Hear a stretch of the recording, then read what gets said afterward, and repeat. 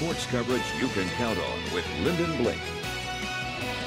Still a lot of action going on at Wallace State Community College today and tomorrow as the region final games start to wrap up. Earlier this afternoon, Muscle Shoals punches their ticket to the Final Four in Birmingham. Hey, as Dickie V would say, this team is awesome, baby. The Trojans holding Bessemer City to only three three-pointers in the game.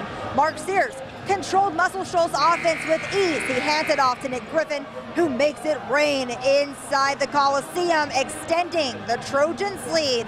Back to the man of the hour. It's Mark Sears again. He had 31 points on the day, handled every single possession with such poise, ended up with 11 of 13 from the field.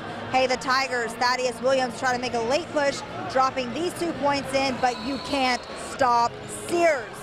The junior puts the icing on the cake for Muscle Shoals' victory, and that's fitting since um, it's his 17th birthday.